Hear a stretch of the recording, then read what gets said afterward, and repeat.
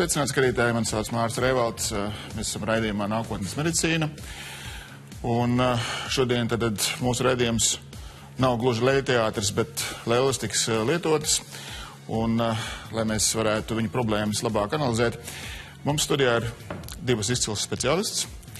Ir dr. Laura Liepiņa, kas ir plastikas ķirurģija, kura ir daudz asociāciju dalībniece, tad, tad pazīstama un pietiekami pieredzējusi plastikas ķirurģi. Un otra ir Guna Havensona, kas kādreiz bija ginekologs ar ginekologu background, bet šobrīd ir uzturu speciālists un ķermeņa estētikas speciālists, kur tātad risina dažādas ķermeņa problēmas. Uh, mūsu bēdu stāsts, diemžēl, saistīts ar šīm divām, ar šīm divām lēlēm. Un, redziet, um, ka problēma ir tāda, ka lēlē trūdījai ļoti gribētos kļūt par barbīnu.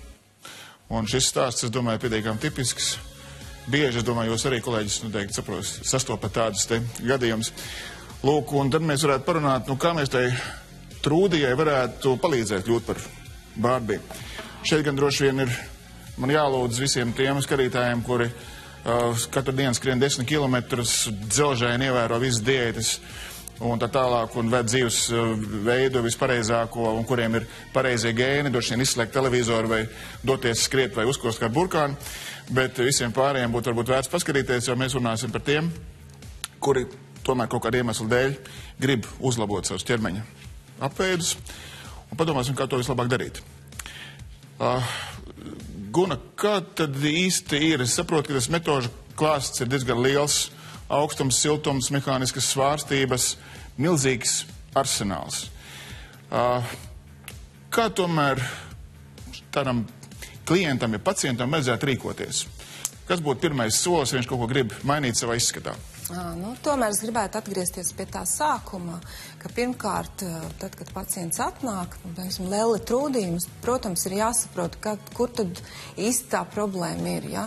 Iespējams, ka tomēr lēlē trūdījai kādu laiku a, nāksies a, tomēr pamainīt to savu dzīvesveidu un pāris kilogramus uzveikt.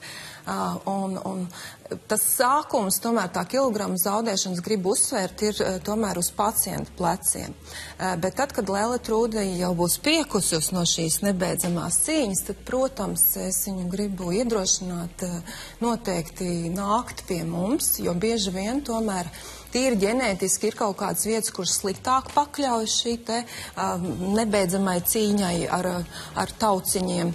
Un, un šajā reizē jau tieši mēs ar dažādām šīm tehnoloģijām, tieši lokālas tādas problemātiskas zonas varam uzlabot. Jo ir daudz gadījumu, kad uh, meitenes ir nocienījušās trīs mēneši sporta zālēs, ja, un šī te gurnu līnija nevis kļūst ir mazāka, bet tieši lielāka. Uz, uz, uz ja, muskuļu augšanas Uz muskuļu augšanas rēķinu, un, un līdz ar to šaurās biksēs netiek tāpat, un šī ir tā kļūda. Milzīgi pūliņi un nav nekāda rezultāta. Tātad atnākot, mēs vienmēr tātad izvērtējam, vai tie būs centimetri vai tomēr kilogrami.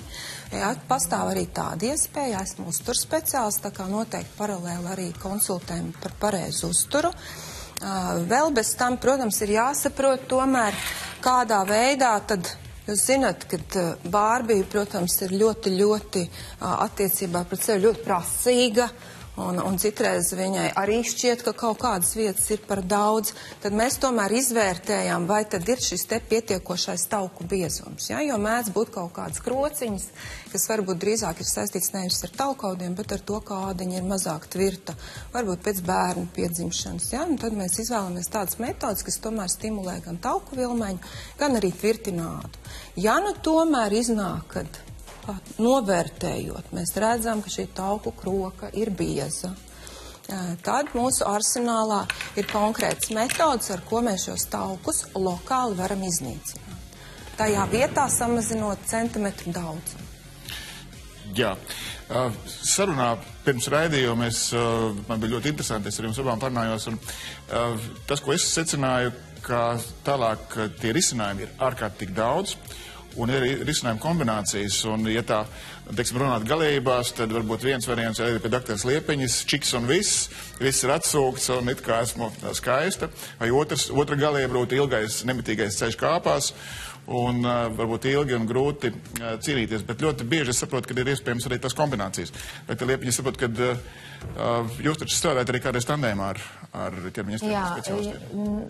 Mēs ļoti cenšamies strādāt, bet tas, tas, protams, ir atkarīgs arī no mūsu klienta, vai viņš arī uh, to vēlās. Mēs vis, visiem vienmēr to ļoti rekomendējam un izstāstam, ka kādreiz varbūt mēs nevaram šo simtprocentīgo rezultātu panākt tikai un vienīgi ar operāciju kad mums nāk palīgā arī viss šis rehabilitācijas process nav sēdēt mājā un gulēt un gaidīt, ka nu tagad viss ir noticies, bet ir ļoti aktīvi jāapmeklē ar šīs visas aparātu procedūras. Uh, arī jāturpina tomēr sportot un veselīgi ēst. Mēs bez tā neiztiekam arī pēc tam, jā, lai to visu, nu, to, ko, uz to, uz ko klients ir gājis, lai viņš arī viņu spētu noturēt pēc tam līmenī. Jā. Jā. Uh, labi, Guna, varbūt mēs varētu darīt tā, ka mēs šodien varētu koncentrēties uz trijām uh, samērā tādām advancētām, modernām metodēm. Un varbūt sāksim ar to, ka mēs varētu noskatīties uh, pirmo stāstu par metodu, ko sauc par ultrashape. Tur būs neliels video, jūs varētu komentēt, un tad mēs pēc tam parunāsim vēl par to dziļāk. Tad skatāmies ultrashape metodiem. Tātad šeit jūs redzat, ka tiek saprast šī te lokālā zona, vai tie tiešām ir taukaudi. Šī lokālā zona vienmēr tiek pacelt uz augšu, jo, lai mēs strādātu tikai uz taukaudiem. Process notiek tātad optikas kontrolē, tādā veidā iedarbība ir ultraskaņa, kura fokusēta. Ja mēs redzējām, ka viņš tā punktveidīgi šo zonu apstrādā un punktiņš ir pie punktiņa. Ideja ir tāda, ka tauku šūna ir tā kā pilns baloniņš, un ja es ar tādu mazu triecienu vilni, kā ar mazu adaptiņu sadurstu, jo šis balons būs pilnāk piepūsts stingrākām sieniņām, jo šī te adatiņas duršana dos labāku rezultātu. Ja? Un te mēs redzam, pat šī tehnika nodrošina to, ka katrs šis te ultraskaņas vilnīts ir uh, viens pie otra, ja nevis tā tad uh, lielākā attālumā. Un sanāk, ka mēs šo zonu tā kā nedaudz ar tādiem ultraskaņas viļņiem sadauzam. Ko tas nozīmē? Skaņa viņa rada vibrāciju. Un mēs zinām, ka tādas lielākas lietas ātrāk vibrē, Un tajā veidā šīs augšu un membrāniņas tiek uh, nu, aiziet kā bojā, kaut kāds zināms daudzums. Protams, mēs te redzam, ka tomēr tās augšu un bojājai notiek daļēji katru reizi, tāpēc šo te metodi parasti iesakam atkārtot kaut kādas pāris reizes. Uh, ir kaut kāds zināms laika posms, kurš paiet, kamēr šīs te tauku šūnas tiek izvadītas no organisma, jā, un mēs iegūstam šo te rezultātu, kas samazinās apjoms. Pēc šīs procedūras vienmēr iesakām vairāk dzert šķidrumu, iesakām arī kustēties, apmeklēt pirti, iespējams kādas procedūras, kas palīdz uh, tauku izvadai. Dažādas masāžas, vakuma masāža, zemūdens masāža. Nu, iedvesmē dažas bildes par pirms un pēc, uh, kā tas uh, izskatās. Uh, jā, nu, rezultāts. Eh, tātad redzat arī nu, lokāli, tātad vairāk šī te vēdera apakšdaļa.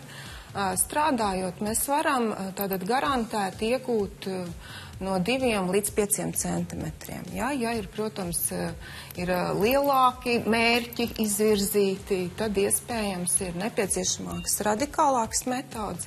Vienīgais, ko es gribu teikt, šī metode ir absolūti nesāpīga, ja, kas tomēr eh, bieži vien metodas, kuras ir iedarbīgas, tomēr arī pacients izjūt jau uz ādiņas, ka šis process notiek. Ja. Citas alternatīvas metodas, kas iet taukšūnas, tiek pakļauts vai nu izteiktam karstumam vai augstumam, tomēr jāteic, ka viņas ir, protams, tolerējams, panesams, bet pacients viņas jutīs. Tātad šis ultraskaņas vilnis ir absolūti nejūtams. Līdzīgi tad, kad mēs aizējam kā pacienti izmeklēt kādus vēdera orgānus ar ultraskaņu, ja, tas iedarbības veids ir līdzīgs. Ja, mēs neko nejūtam. Jā, kas notiek ar, šim, ar šo šūnas saturu? Tad šūnas apvalks tiek uh, tā kā pārplēsts Jā, saturs. šūnas saturs, eh, nu, lai saprastu, kas tas ir, tas ir tāpat kā mēs eh, pārtikā uzņemam tādus īpašus tauku veidu, kā triglicerīdi, tas ir tā kā sviests, mm. kur būs, jā, tādā pašā veidā tādas šīs te tauku molekulas nonāk uh, caur limfu uh, līdz aknām, un aknas viņas dabīgā veidā, tāpat kā apēdot reknas lietas, tiek izvadīts. Tāpēc šo te procedūru režīms ir reizi mēnesī, jā, jūs redzat tāds starplaiks vajadzīgs, lai, lai, lai tie procesi. Ir kaut kādi ierobežojumi?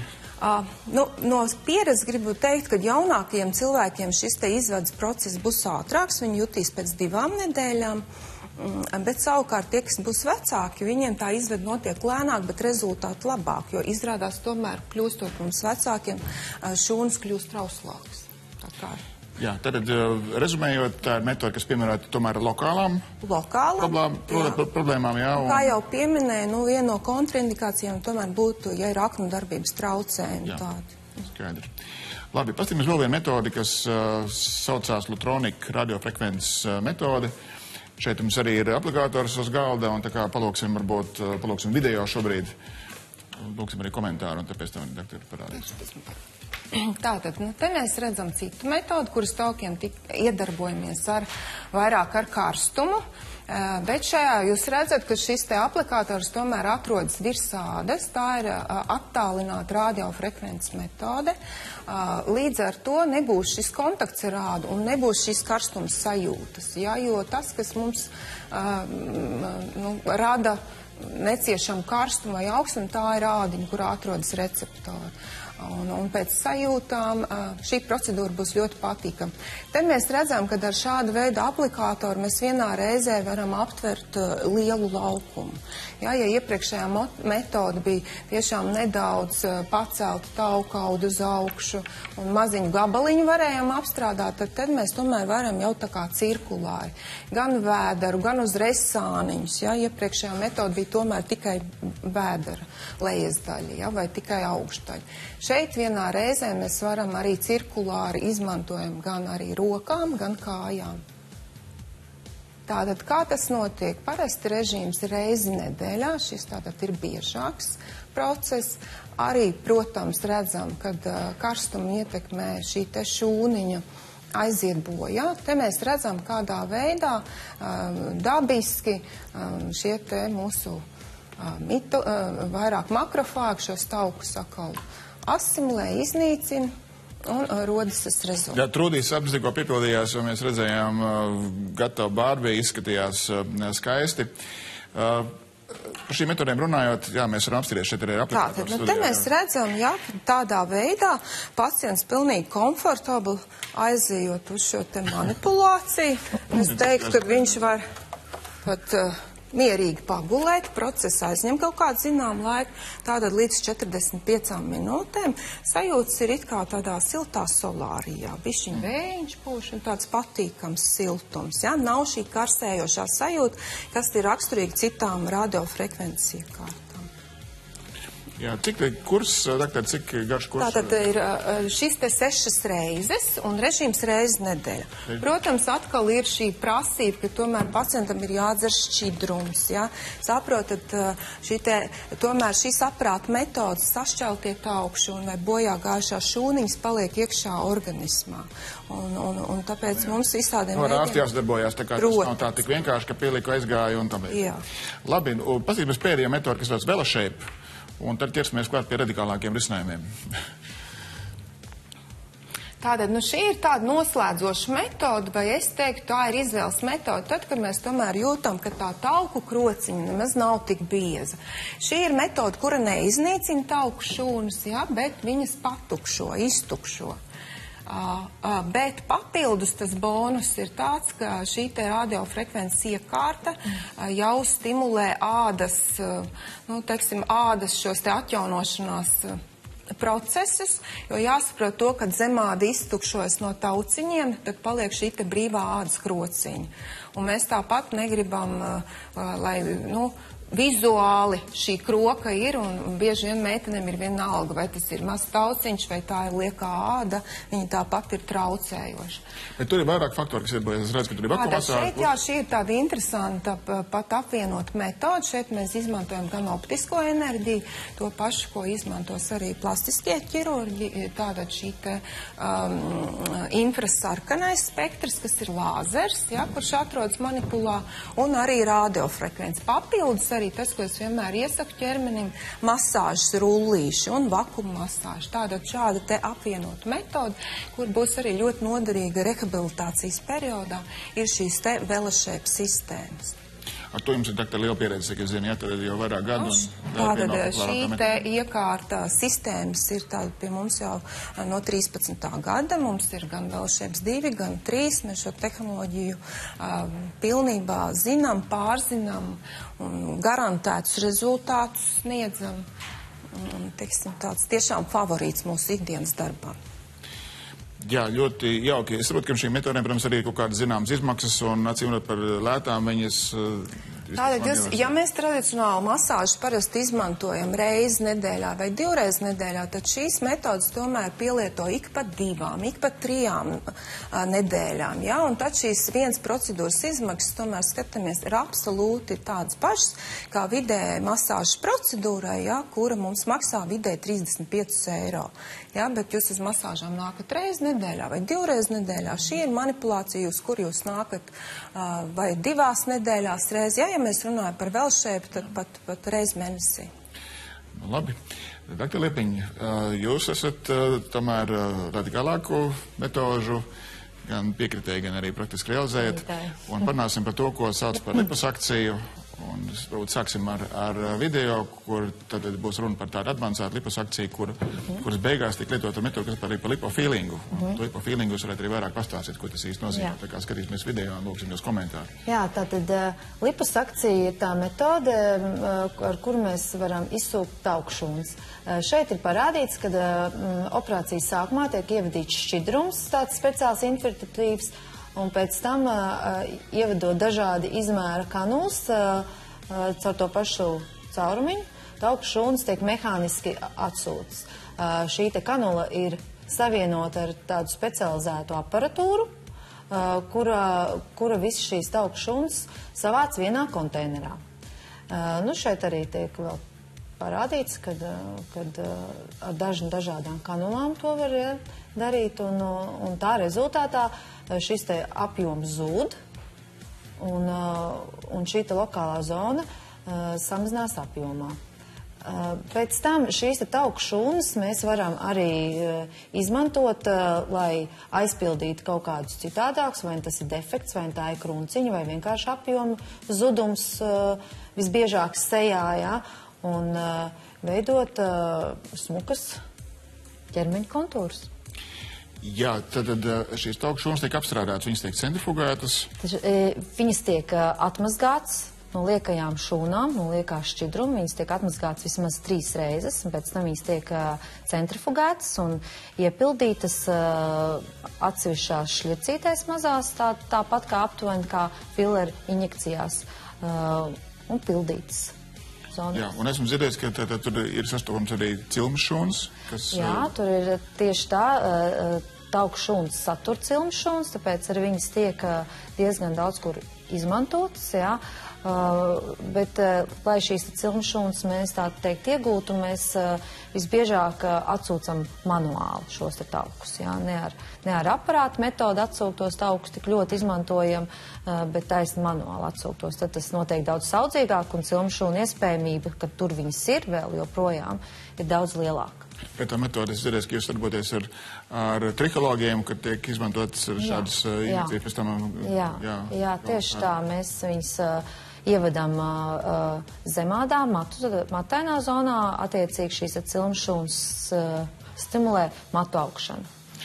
Tas Jā. nozīmē, ka tās taukšūnas mums var būt arī noderīgas. Tas augšana mums ir ļoti noderīgs. Jā, tieši tā. Un es domāju, ka diezgan laikam ejot, mēs viņus izmantosim ar vien vairāk un vairāk, un varbūt mazliet uh, zudīs uh, šīs te populārās fileru injekcijas kaut kur varētu pazaudēt to savējo popularitāti, ja, jo ar vienu populārāk ir, kad mēs izmantojam pašus savus dabīgās uh, audus uh, materiālu no savu ķermeņu, mēs varam Jā, nu palīdzēt citām eh, zonām. Īsi Jā. eh, jautājumi. Tad, tad eh, pat operācija vispārējā narkozē? Ja? Pat operācija ir dažādās anestezijas iespējas, nelielas zonas. Mēs varam lokāli ar vieglu sedāciju, um, mēdzam izmantot spinālo anesteziju, tādiem, tādiem bailīgākiem pacientiem vai ar lielāku apjomu vispārējo anesteziju. Mēs, mēs kombinējam, esam elastīgi, piemērojam katram pacientam viņu. Skaidrs. Cik ilgs laiks līdz uh, pludmales sezonai? Nu, tomēr tādi tie trīs mēneši kopumā būs. Jā, jā. Kas, kas draud zilumi? Zilumi draud, ne īpaši lieli, tas arī atkarīgs arī no vecuma nedaudz. Vecāko, vecākiem cilvēkiem tur tie zilumi būs vairāk, asinsvadi ir vājāki, bet uh, zilumi un tūs, ka tas ir galvenais, ar ko cīnās uh, pēc liposakcijas rehabilitācijas laikā. kādi ir ierobežojumi šajā periodā? Šajā periodā tādi ļoti lieli izteikti ierobežojumi nemaz nav. Pacients pat nākamajā dienā var doties uz darbu, strādāt un, un, un Speciāli viņš- tērpa, ko zināt, speciāli tērpa. Tas gan, jā, ir, ir šīs te kompresijas veļas, bet tās neierobežo cilvēku absolūti. Viņš vienkārši, viņam ir jānāsā aptuveni divas nedēļas kompresijas veļa vai kompresijas jostas, uh, um, bet tās tā īpaši neierobežo. Bet tas jā, tas jādara. Nu, bet, ja mēs tā uh, zinātniski izskaties, runājam par recidīva riskiem, uh, tomēr kādreiz ir nācies redzēt tiešām perfekts rezultātus, un kur ir ilgtermiņa, un tie cilvēki ir laimīgi, un, un, un tie viņi slaida, un rokas kājas ir, ir slaidas, vidukļi slaida, un, un kādreiz ir nācies redzēt, ka pacienti ar laiku sāk atgūt atpakaļ priekšu izskatu. Uh, Kad, ar ko tas doktors skaidrojums ir? Nu, tas tomēr ir, eh, tomēr tas katra, katrs organisms atšķirās, jā, un, uh, un tas iemesls, kāpēc viņam ir uzkrājušies šeit tauki arī ļoti dažādi, jā, ja pacients uh, ir uzņēmis viņus ar uzturu, pēc tam ir veikta šī liposakcija, un, un arī, dzen, neka, nu, nu, nekas nav mainījies, jā, visdrīzāk, nu, tas, nu, tāpat tas rezultāts būs labāks, jā, tāpat viņš neuzņems vairāk nu, viņš neatgūst tik ļoti daudz tomēr. Ja?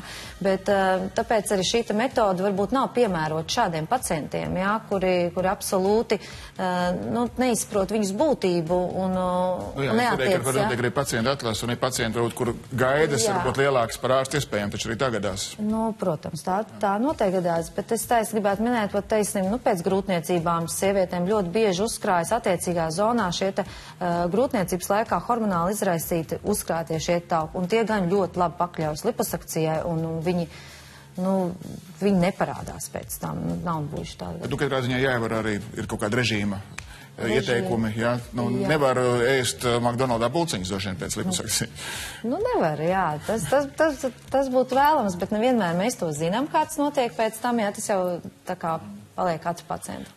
Un uh, rehabilitācija ir kaut kāda sadarbība iespējama. Jā, mēs, kā jūs teicat, mēs ļoti gribam sadarboties, un, un mēs rekomendējam mūsu pacientiem, ja viņi teikš, tiešām vēlas to rezultātu pēc iespējas, pēc iespējas labāku, tad eh, mēs vismaz jau pēc nedēļas eh, mēs, pa, mēs savus pacientus nododam jau um, aparātu metodistu uh, rokās, kuri um, arī individuāli skatoties uz katru pacientu, kāda viņam notiek atlapšana, varbūt tās uz, uzreiz ir vakuma masāža, varbūt to uzreiz nevar darīt, sāk ar limfodrenāžām. Uh, nu, tomēr arī tas, uh, bet, uh, nu, mēs individuāli skatāmies, bet noteikti tā ir limfodrenāža un uh, vakuma masāža, kas ir ļoti uh, efektīva, lai sasniegtu ļoti, ļoti labu rezultātu. Es redzēju, ka kad kunkulīts paliek, ka to pēc tam var izlīdzināt ar šīm metodēm. To var, jā, jā. to mēs pēc tam, tā kā es teicu, ja, ja ir atsūkts un atkal vajag to tvirtu mādiņai, tad pēc tam šīs vēl šeit metodas.